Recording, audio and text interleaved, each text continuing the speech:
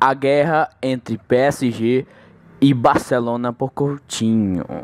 A Telefute garante que o representante do jogador brasileiro Kia Jourabichan e o diretor esportivo do PSG se reuniram em Londres.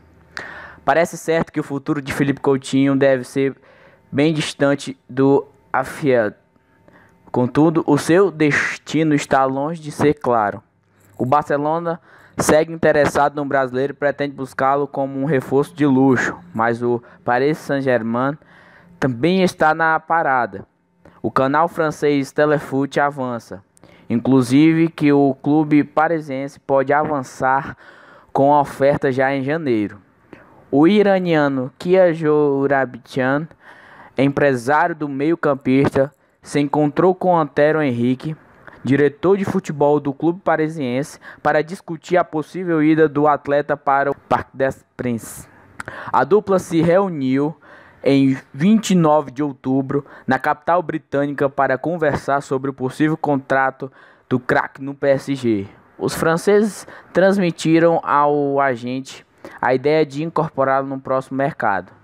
É terminante na contratação de Daniel Alves, Neymar estaria ajudando o clube também na busca por Coutinho. A estrela da equipe que criou o amigo da seleção brasileira pode contribuir muito com o time comandado por Unai Emery.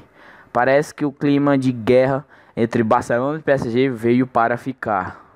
E aí, galera, o que vocês acham sobre esta guerra do bem entre dois grandes clubes, Barcelona e PSG? Coutinho vai para onde? Vocês acham que o Coutinho vai para Barcelona?